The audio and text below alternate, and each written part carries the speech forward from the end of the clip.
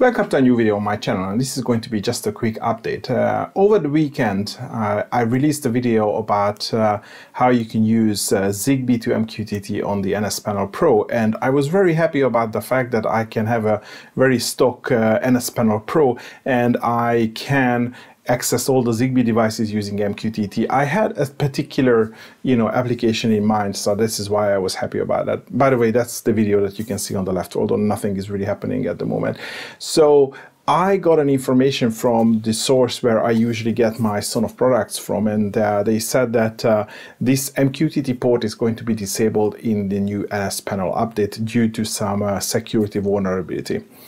I wanted to get this video out because uh, if you were excited about just like I was excited, maybe you should not plan to use this feature in the future or in long term unless you turn on the automatic update on the NS Panel Pro, which I think you can do, or just not update to any new firmware version and just keep the current version what we have at the moment.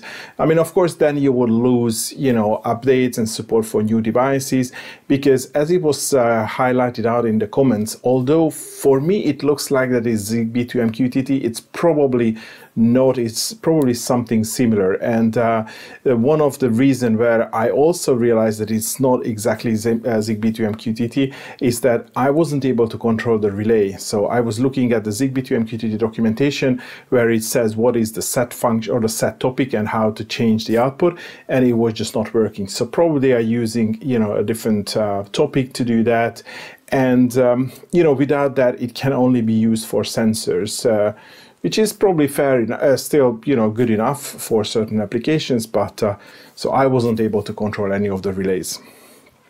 I don't think that this has anything to do with my video. I mean I don't think that my video really makes a difference in this whole story.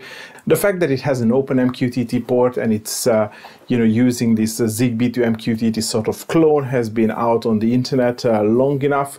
So it's not really that I you know I uncovered something unknown.